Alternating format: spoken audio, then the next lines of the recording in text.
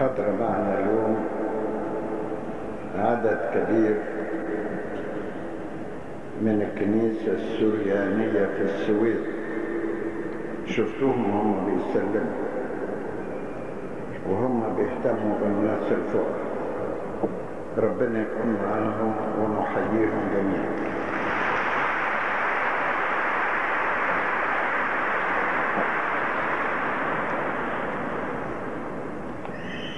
سؤال. لماذا نمتنع عن أكل اللحوم وما أشبه في الصيام هل هذا ذكر في الإنجيل؟ لما ربنا خلق الإنسان خلقه ما بيأكلش لحوم بيأكل نبات بس ودي تجدوها في الإصحاح الأول من سفر التكوين. ربنا قال للإنسان يأكل من ثمرات الأرض. ولم يسمح الله بأكل اللحوم إلا بعد أن فسد البشر وأغرقوا بالطوفان نتيجة فسادهم. وبعدين بعد ما خرجت المجموعة التي كانت في الفلك ربنا قال لنوح في إصحاح تسعة من سفر التكوين إن تأكل من اللحوم ولكن لا تأكل لحما بدمه. لا تأكل لحما بدمه. يعني اللحم اللي مش مستوي وفيه دم آه ما تاكلش منه. أو واحد مثلا جزار ياخد حتة كبدة زي ما هي بدمها وياخدها ويبلعها وياكلها حرام برضه. تاكل لحمة بدم لا. وبرضه لما ربنا أخذ الشعب في البرية كان بيرسل لهم أكل المن والمن مثل قطايف بزيت. فكان طعام نباتي وهم لما بكوا واشتكوا اشتهوا اللحوم اداهم لحم مع عقوبة. فأرسل لهم السلوى. لحوم ولكن مع عقوبة. لأنهم اشتهوا أكل اللحم. ومع ذلك اللحم مش حرام. ممكن تاكلوا لحم. ولو إن حاليا دلوقتي كتير من رجال الطب يقولوا لما الإنسان يبلغ إلى سن كبيرة ما ياكلش دهون ولا لحوم كثيرة خوفا من الكوليسترول.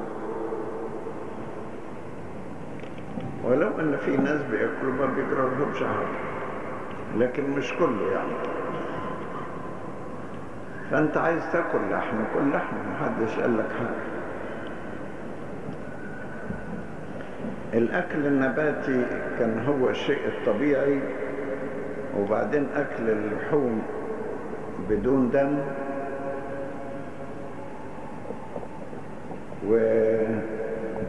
وبعدين إحنا في فترة الصيام بنمتنع عن أكل اللحوم نوع من التقشف والزهد. دي من جهة ومن جهة تاني عموما اللي بياكل لحم كتير تبقى الطاقة الغضبية عنده أشد من غيره. يعني الناس اللي ما بياكلوش لحم كتير تلاقيهم هاديين في طبعهم عن اللي بياكلوا لحم كتير. مش عايز حد يزعل مني من الموجودين ويقول أنا باكل لحم وبتقول عليا ما بقولش عليك حاجة. جايز أنت تكون بتاكل لحم وطبعك هادي. وبعدين سؤال ثاني. لماذا في المسيحية يتزوجون مرة واحدة وموسى قال من يطلق امرأة يعطيها كتاب طلاق؟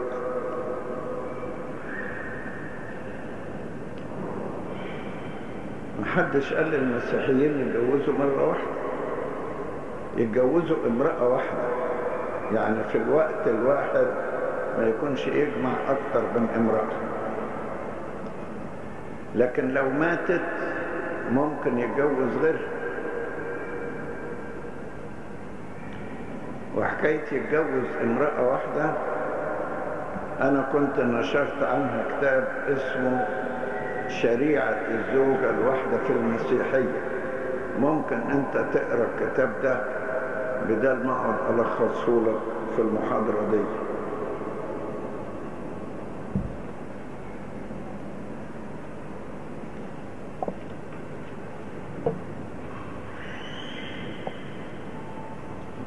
واحد بيقول هل الزواج اختيار من الله أم هو اختيار الإنسان؟ طبعا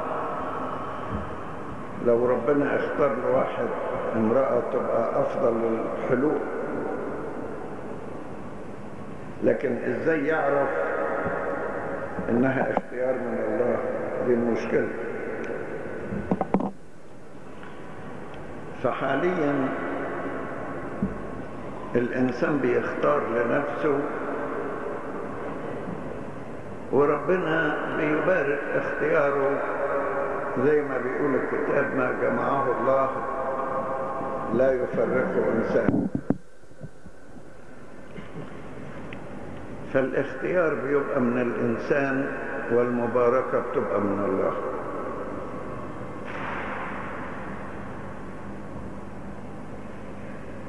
فبيتكلم على الاختيار من الله.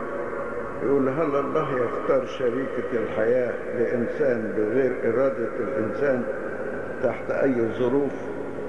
لا ربنا ما بيرغمش واحد يتجوز غصب عنه. لكن في التاريخ عندنا حالات تشبه شوية. يعني مثلا أبونا إسحاق ابن إبراهيم جابوا له رفقة يتجوزها فاتجوزها هو ما راحش اختار لكن كانت كويسة وامرأة من الله برضه.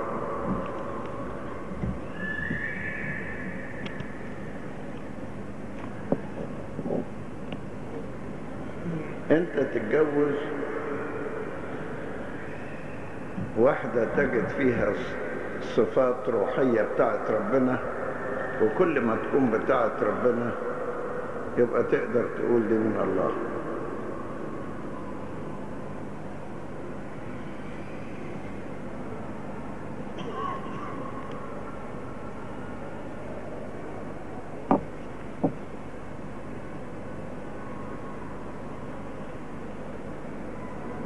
واحد بيقول نحن نؤمن أن الرب يسوع الأقنوم الثاني أخذ جسدا وتأنس وصلب ومات وقام لأجل خلاصنا ولكن الجسد بدون روح ميت. كما أن اللاهوت لا يتألم لأنه إله خالق. طيب ولكن هل اتحد ربنا يسوع المسيح اتخذ ربنا يسوع المسيح جسدا وروحا مع لاهوته أم أخذ جسدا فقط؟ لا أخذ جسدا وروحا. عشان كده إحنا بنقول تجد تجسد وتأنس. كلمة وتأنس يعني وصار إنسانا. أف الرومي وصار إنسانا. إنسانا كاملا. واللي قال له إن ما يحتاجش المسيح لروح ويكفي الروح القدس الكنيسة اعتبرتها هرطقة وحكمت عليهم بالهرطقة. ليه بقى؟ لأنه لو أخذ جسد فقط بدون روح يبقى لم يشبهنا في طبيعتنا. فعشان هو يشبهنا في طبيعتنا تمام شابهنا في كل شيء ما عدا الخطية يبقى لازم يبقى فيه جسد وفيه روح. والروح دي هي اللي ساعة الصليب لما مات المسيح قال للآب في يديك أستودع روحي روحه يعني روحه الإنسانية.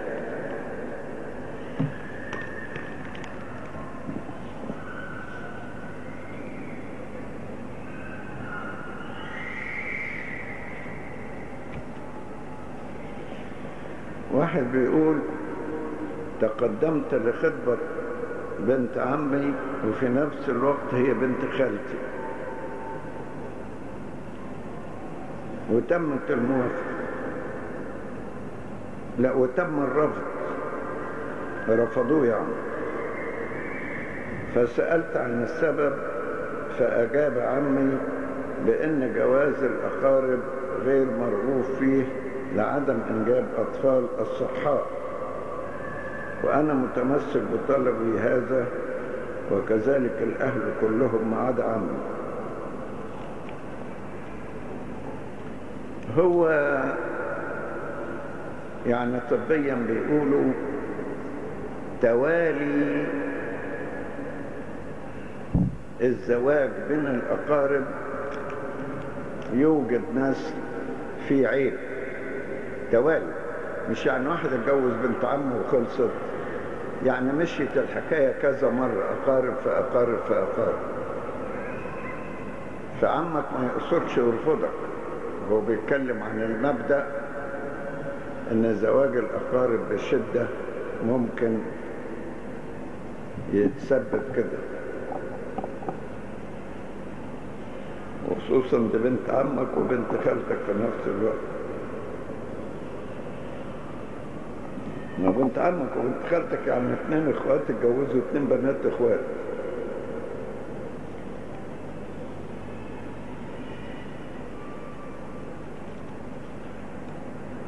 تابعوا الموضوع وشوفوا هل قبل كده كان ماشي زواج أقارب أقارب يقصدوا قرابة شديدة يعني ولا دي أول مرة؟ إن كان أول مرة يبقى مفيش خوف منها كتير. لكن إذا كانت تتوالى يبقى برضه في خوف. سؤال هل الشفاعة القديسين تفيد إرادة الرب؟ ربنا قبل شفاعة قديسين كثيرين كما قبل شفاعة إبراهيم وشفاعة موسى النبي وشفاعة كثيرين. في الكتاب اللي أصدرت لكم عن اللاهوت المقارن فيه فصل عن الشفاعة. يا ريت تقرأه هتلاقي كلام كتير. سؤال لماذا لا نعرف شيئا عن الفترة التي عاشها السيد المسيح له المجد قبل بدء خدمته؟ وكيف كانت؟ لأن الكتاب المقدس أراد أن يقدم لنا قصة خلاص البشرية. والفترة الأولانية دي يعني مش هي الفترة الخاصة بخلاص البشرية. من أول رسالة المسيح وفدائه هو ده اللي شدد عليه الكتاب المقدس. ومع ذلك التاريخ حدثنا عن زيارة السيد المسيح لأرض مصر في طفولته لكن ما جاتش في الكتاب المقدس. لأن المعجزات اللي حدثت كتيرة جدا. والكتاب المقدس زي ما قلت لكم عايز يتكلم يركز على قضية الخلاص يعني. وقال كمان زيارة المسيح لأورشليم لما كان عمره 12 سنة وقعد مع الشيوخ وكان بيجاوبهم وهم مستغربين من إجابته. فدي برضو تدل على لاهوته إزاي وهو شاب صغير كان بيتكلم كلام والناس منبهرين منه.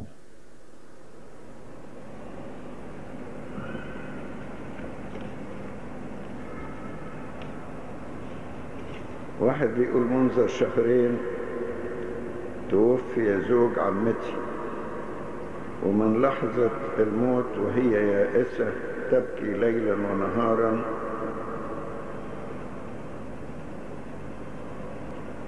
وهي معنا الآن. فأرجو من قدسك أنك تعزيها بكلمة روحية وأن تذكره في هذا الاجتماع هو اسمه كذا. البقية في لم يمنحهم من البكاء لكن الكتاب بيقول بكى يسوع. فمعلش شيء طبيعي إنها تبكي على زوجها ربنا يعزيها تاخد وقت وبعدين ربنا يبعت لها العزاء من الروح القدس من عنده سؤال. واحد بيقول أنا شاب أبلغ من العمر السبع وعشرين سنة كنت أحب فتاة كانت تعمل معي في شركة قطاع خاص وتمت الخطوبة بدون مشاكل ولكن ذات يوم أعطتني الدبلة في الشركة بدون مقدمات واليوم قد تركت الشركة. مع العلم إن تم فسخ الخطوبة منذ عام. هي كانت عايزة قاعدة صريحة تقعد معاها تقول لها إيه السبب يعني. وإن ما كنتش تعرفه كنت تسأل في العيلة عندها يعني ليه تم فسخ الخطوبة؟ جايز في حاجة هي لاحظتها وانت مش ملاحظها. ثم بتسألني السؤال ده بعد عام. ليه ما سألتوش من ساعتها؟ كنا نشوف لك حل في وقتها. هتجيلها تروح ليها أو عائلتها وتقول لها أنا فاكر زمان من قيمة سنة كنت فسخت الخطوبة. لازم في سبب وإن كنا لا نعرفه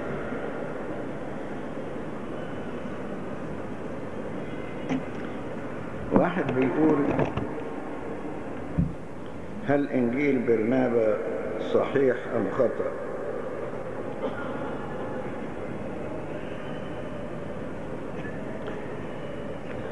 طبعا ده مزور. كتاب مزور.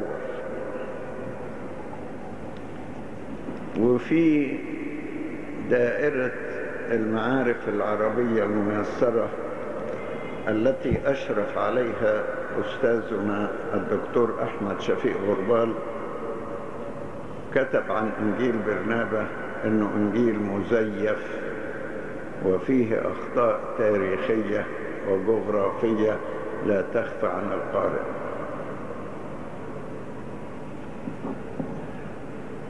ونفس الإسلام لا يؤمن بأن في إنجيل نزل على برنابة مش موجودة دي في القرآن. إنما المسلمون يؤمنون بإنجيل نشره عيسى ابن مريم. وكلمة برنابة غير موجودة على الإطلاق في القرآن. فالمؤمنون فالمسلمون الحقيقيون يرفضون إنجيل برنابة وأتذكر أني قرأت مقالا للأستاذ عباس محمود العقاد قال عن إنجيل برنابا ده إنه إنجيل مزيف ولا يخفى ذلك عن أي مسيحي أو يهودي أو مسلم يؤمن بدينه. وأنا فاكر إني كتبت عدة مقالات نشرت في جريدة وطني عن هذا الإنجيل المزيف. أبقى أطلعه لكم ككتاب فيما بعد. وفيه خرافات خرافات لا يقبلها عقل. خرافات يعني كلام مش ممكن أبدا يقبله عقل. يا ريت أطلع لكم الكتاب ده يبقى كويس. وإذا لم أبلغ صاحب المعهد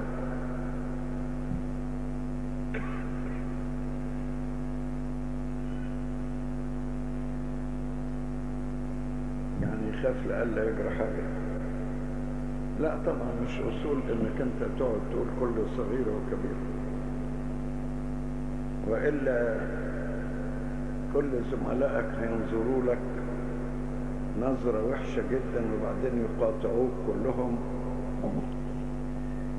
وتبقى سمعتك وحشة ودينيا مش صح. وقول صاحب المعهد تقول له أنا مش قد الشغلانة دي فأرجوك تعفيني منها.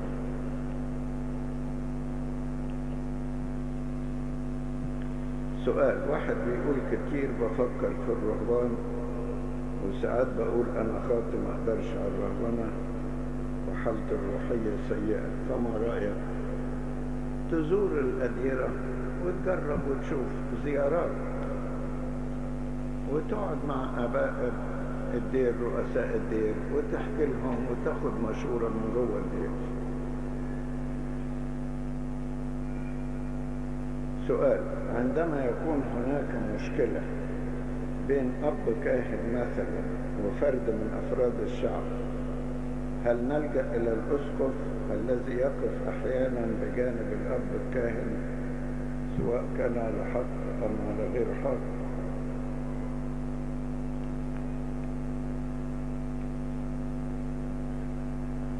إن كنت عارف إن الشكوى للأسقف مش هتجيب نتيجة بلاش تشكي.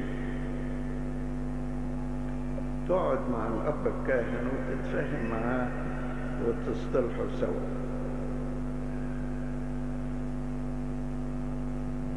لكن طبعا مش كل الآباء الأسقفة يقفوا إلى جوار الكاهن إذا أخطأ له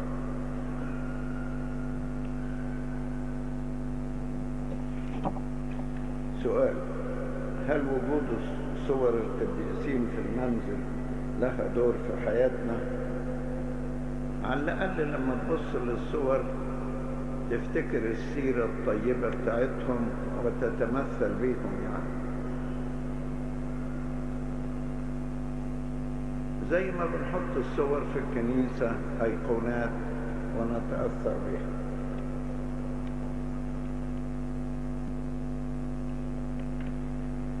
واحدة واحدة بتقول صديقتي متقدم لها شابين لخطوبتها. وهما الاثنين لهم حياة روحية ومناسبين. فبماذا تنصحها نقول لها تسيب لك واحد منهم.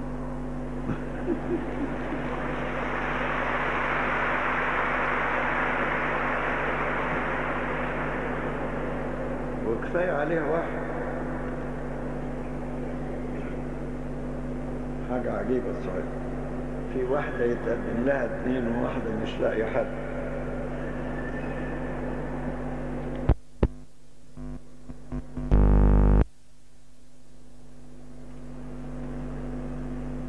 نكتفي بالأسئلة دي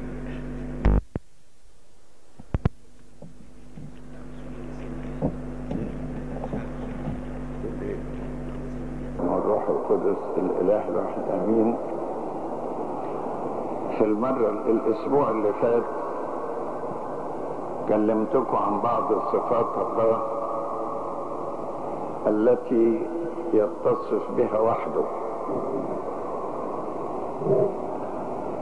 الخاصة به لوحده يعني بلاهوته ولكن أكلمكم النهاردة عن صفة مفروض تكون للكل. بس بالنسبة لربنا في كمال المطلق بالنسبة للبشر كل واحد على قده. وهي صفة القداسة. الله قدوس. وفي تسبحة السرافيم كان بيقولوا له قدوس قدوس قدوس السماء والأرض مملوءتان من مجدك.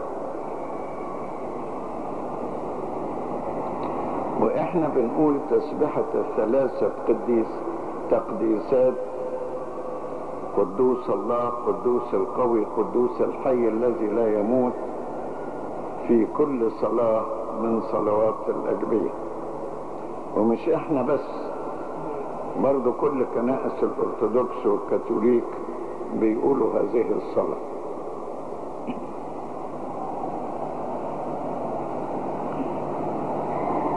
وفي سفر الرؤيا نجد صفوف السمائيين بيسبحوا الله ويقولوا له من لا يمجدك يا الله ويبارك اسمك لأنك أنت وحدك قدوس.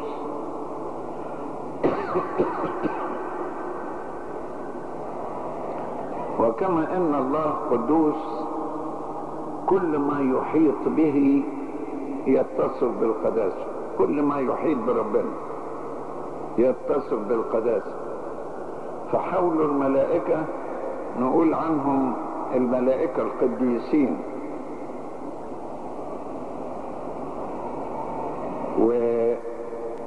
وبيت الله نقول بيت الله المقدس. والأعياد الخاصة بربنا والمواسم نسميها الأعياد المقدسة والمواسم المقدسة. وكتاب الله نسميه الكتاب المقدس. والصلوات الخاصة بربنا نسميها الصلوات المقدسة. التسبحة البسخة أسبوع الألام. كل ده نصف بالقداسة أيضا. حتى اسم الله أيضا. اسم الله قدوس. وبنقول في الترتيلة اسمك حلو ومبارك في أفواه قديسيك وأول طلبة في الصلاة الأجبية بنقول فيها ليتقدس اسمك. يعني ليتقدس اسمك؟ يعني ليكن استخدام اسمك استخداما مقدسا. فلا نستخدمه في في الأمور التافهة من أمور العالم ولا ننطق باسمك باطلا. دي حكاية يتقدس اسمك. ولما بنقف أمام الله في صلاة الشكر نقول امنحنا أن نكمل هذا اليوم المقدس وكل أيام حياتنا كل سلام مع مخافتك. فاليوم اللي نقف فيه أمام الله يبقى يوم مقدس. ويوم العبادة يوم مقدس. وبنقول على يوم السبت إنه يوم مقدس لأنه يوم الرب. والكتاب بيقول اذكر يوم السبت لتقدسه يعني ليكون مقدسا في نظرك لأنه بيت الرب لأنه يوم الرب. حتى الخلاجي اللي إحنا بنستخدمه بنسميه الخلاجي المقدس. والمكان اللي نقف فيه نسميه مكان مقدس. نقول كل حسد وكل تجربة وفاء الشيطان إلى آخره انزحها عنا وعن هذا المكان المقدس أيا كنا نصلي فيه فهو يتقدس بصلواتنا. وهكذا يكون المؤمنون باستمرار يعيشون في جو قدسي في علاقتهم مع الله. وربنا نفسه بيقول كونوا قديسين كما إني أنا أيضا قدوس. تكونوا قديسين عشان تبقوا صورة الله ومثاله.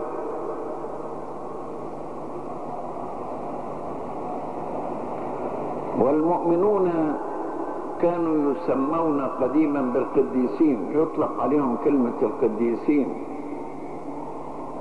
بولس الرسول يقول سلموا على كل قديس في المسيح يسوع. كلهم قديسين.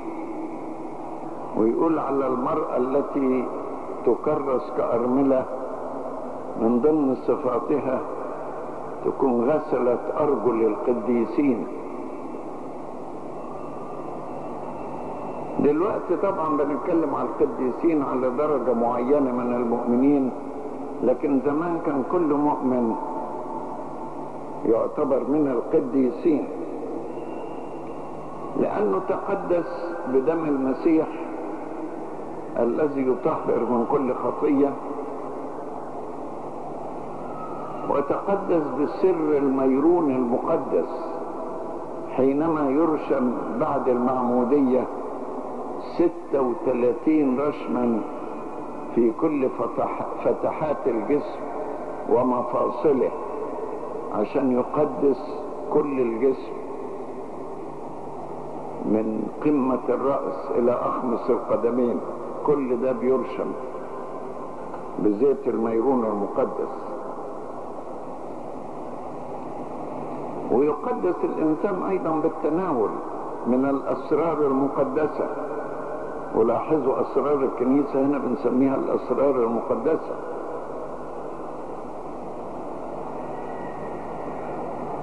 ولذلك نحط قصادنا كم آية في الموضوع ده. حتى في العهد القديم كان التقدم للذبيحة يستلزم القداسة أولا. ففي سفر صموئيل الأول إصحاح 16 لما صموئيل النبي أراد أن يذبح ذبيحة في بيت يسر بيت لحمي قال تقدسوا وتعالوا معي إلى الذبيحة. تقدسوا وتعالوا معي إلى الذبيحة. فالقداسة تسبق التناول وتكون نتيجة للتناول. ولذلك لا يتناول إلا القديسون. زمان كانوا يصلوا في الأول قداس الموعوظين يحضره الشعب كله يسمع القراءات المقدسة من البولس والكاثوليكون والإبراكسيس والإنجيل والمزمور ويسمع العظة ويمشي. لا يحضر القداس الإلهي قبل ما كان الشماس يرفع كان الشماس ينادي قبل ما الكاهن يرفع الإبروسفرين يقول لا يقف موعوظ هنا. لا يقف غير مؤمن لا يقف فرطوق إلى آخره. موجودة دي في كتب القوانين القديمة ما بتتقالش دلوقتي. لكن القداس الإلهي أول ما نبتدي فيه القداس القديس نسميه قداس القديسين. يعني إيه قداس القديسين؟ يعني الذين يتناولون من الأسرار المقدسة وبهذا يكونون قديسين. ولذلك نقول في بداية القداس قبل التناول القدسات للقديسين القدسات للقديسين. تياجيتيس أبيس القدسات للقديسين يعني هذه الأسرار الأسرار المقدسة الجسد الدم هي للقديسين فقط. لكي لا يتناول أحد بدون استحقاق.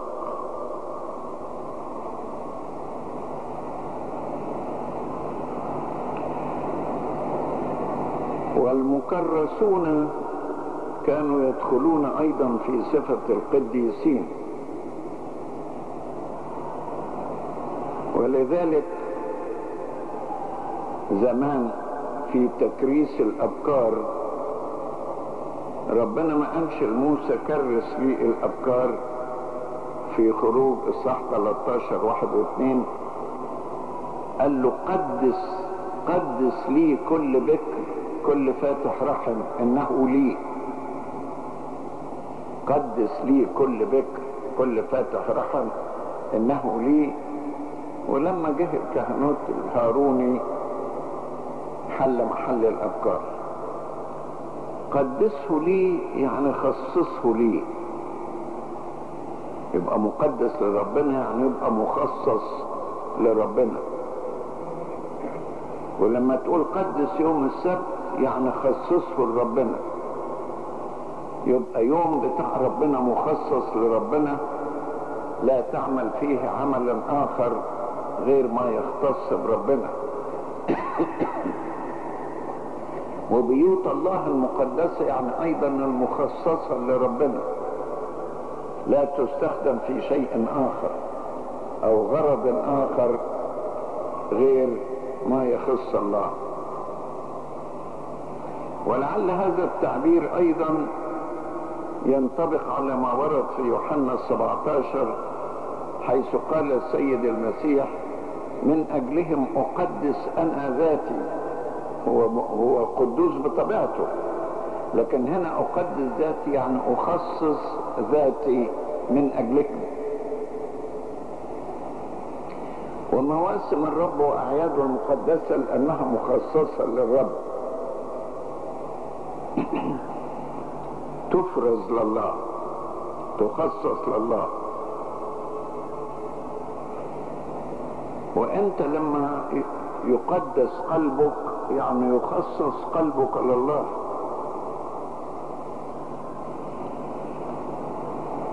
ولما ربنا يوحي في الكتاب المقدس يقول القداسة التي بدونها لا يعاين أحدا أحد الرب. فيش حد يعاين الرب يعني يشوفه بدون هذه القداسة. سواء في الأرض أو في الملكوت. يقول في الملكوت لا يدخله شيء نجس ولا رجس. ونقول على أورشليم السمائية أورشليم المقدسة.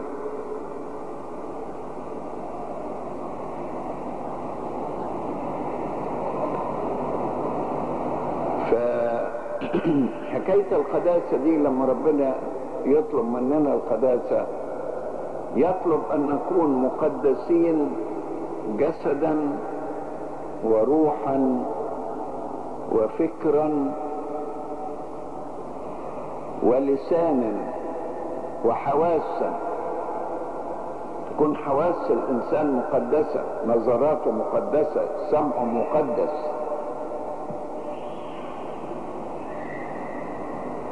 لسانه يكون مقدس. يعني إيه يكون مقدس؟ يعني لما سألوا ربنا من جهة الأكل المقدس والأكل النجس قال لهم ليس ما يدخل الفم ينجس الإنسان لكن ما يخرج من الفم ينجس الإنسان.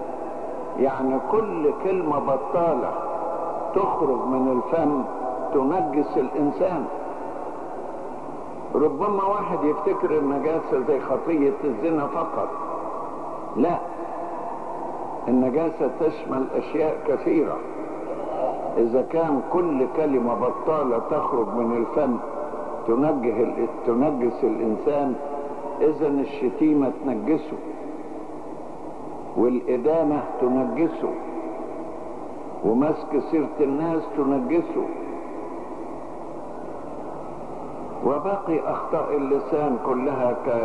كألفاظ الكبرياء وألفاظ العبث واللهو والمجون كلها تنجس فالإنسان القداسة اللي هي عكس النجاسة ليست للجسد فقط لأن إحنا في صلاة الساعة الثالثة نقول نجنا من دنس الجسد والروح. نجنا من دنس الجسد والروح. فكما إن الجسد جايز يتنجس بالزنا ممكن الروح تتنجس بالتجديد وتتنجس بالشك في ربنا وتتنجس بأنها تعيش بعيد عن ربنا.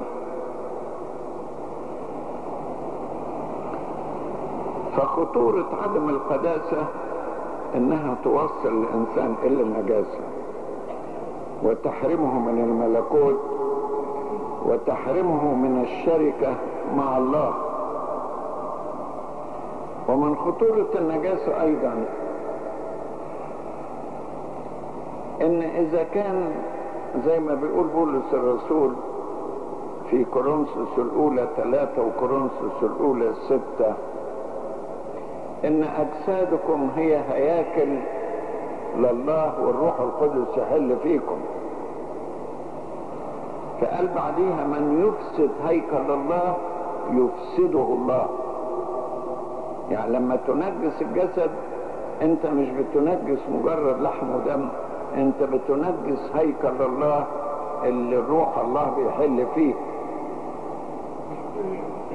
وأيضا قال في كورنثوس الأولى ستة برضو عن خطية الزنا أفآخذ أعضاء المسيح وأجعلها أعضاء زانية؟ على اعتبار إن جسدنا هو أعضاء المسيح. هو الرأس ونحن الجسد. فشوفوا الخطورة وصلت لحد فين. ومن عواقب النجاسة إنها كانت السبب في أول عقوبة صدرت بعد طرد الإنسان إلى العالم. عقوبة الطوفان العقوبة العامة عقوبة إبادة. تبتدي إزاي في سفر التكوين اصحاح ستة؟ لما رأى أولاد الله بنات الناس أنهن حسنات. يعني بدأت شهوة الرجل للمرأة وبدأت يتخذوهم نساء ليهم آه ابتدت عقوبة الله وقال ربنا ان لا أبقي حيا على الأرض. أي كل نفس ذات حي. وكل نفس ذات حياة دي تورينا مشكلة أخرى. تورينا إن نجاسة الإنسان تنجس الأرض التي يعيش فيها. وتنجس ما حوله. تتنجس الأرض بسببه.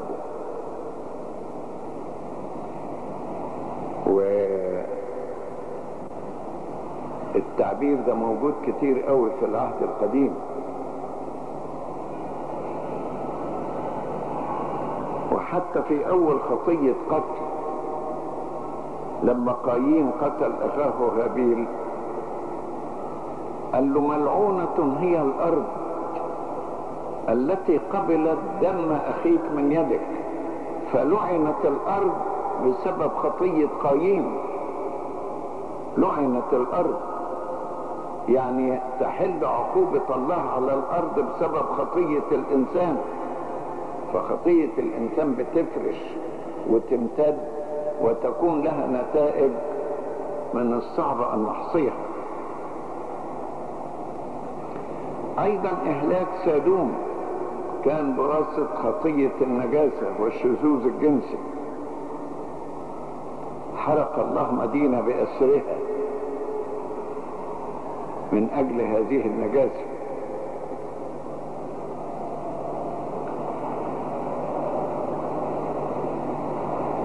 ومن الأوصاف التي وصفت بها هذه النجاسة إنها كانت ترمز إليها بعض أمراض وأحيانا تكون نتيجتها.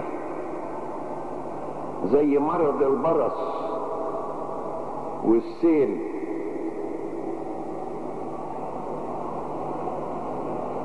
وكان الشخص الأبرص يطردونه خارج المحلة. لئلا ينجس المحلة بهذا المرض اللي كان يرمز للخطيه أيضا.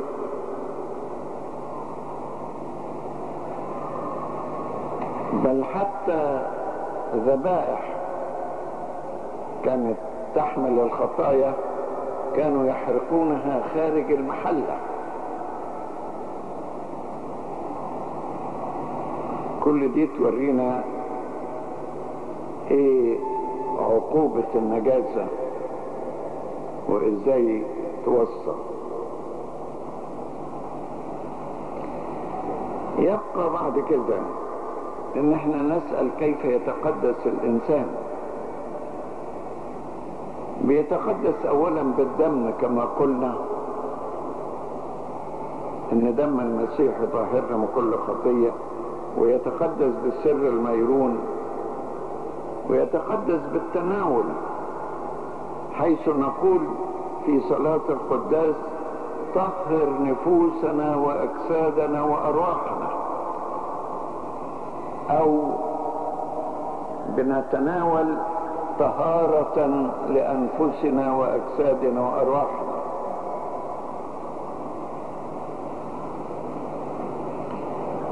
ويتقدس الإنسان بعمل الروح القدس فيه واستجابته لعمل الروح القدس فيه لأن الروح القدس بيعمل وجايز إحنا أحيانا لا نتجاوب معه ولا نشترك معه في العمل.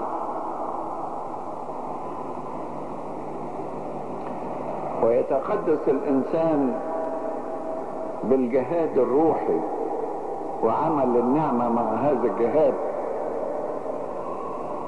ولذلك بولس الرسول في عبرانيين 12 4 يقول وهو يعاتب العبرانيين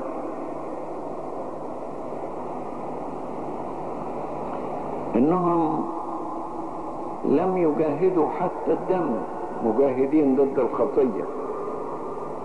حتى الدم يعني الجهاد الروحي يصل حتى الدم. يعني لو أدى الأمر إنه يسفك دمه من أجل هذا الجهاد. وتأتي القداسة أيضا والبعد عن النجاسة بضبط النفس. والرجوع إلى صورة الله. وتأتي القداسة أيضا بمخافة الله. البدء الحكمة هي مخافة الله. لأن الإنسان اللي بيخطئ لا توجد مخافة الله في قلبه.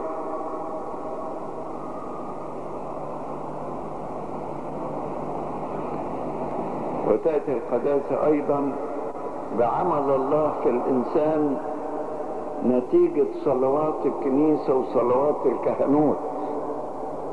الكاهن وهو بيقرأ التحليل يقول قدسهم وطهرهم واملأهم من خوفك وحاللهم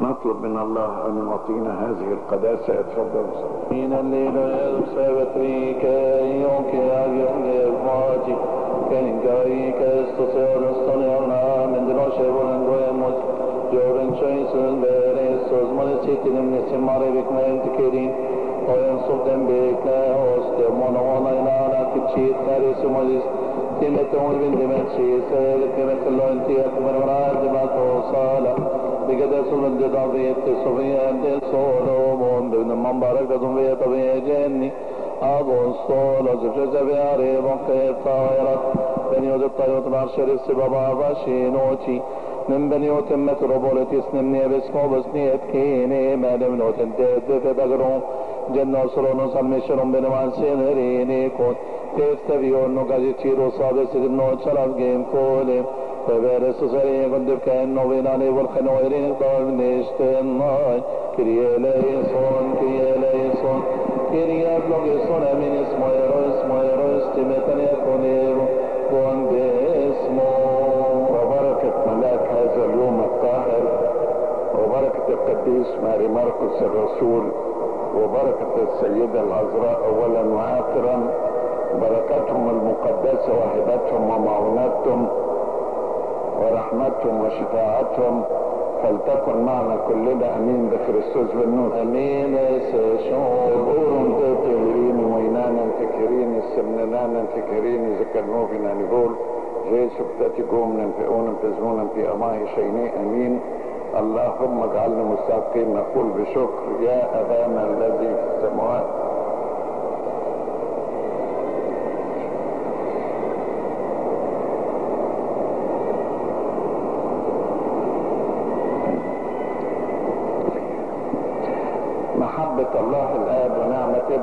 الوحيد وشركة موهبة روح القدس تكون مع جميعكم. أمضوا بالسلام. السلام عليكم.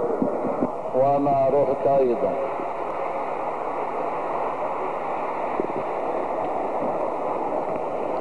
المكتبة الصوتية لقداسة البابا المعظم الأنبا شنو الثالث بمبنى مجلة الكرازة. تعلن عن وجود شريط فيديو لحفل إفطار الوحدة الوطنية 2004 كما يستمر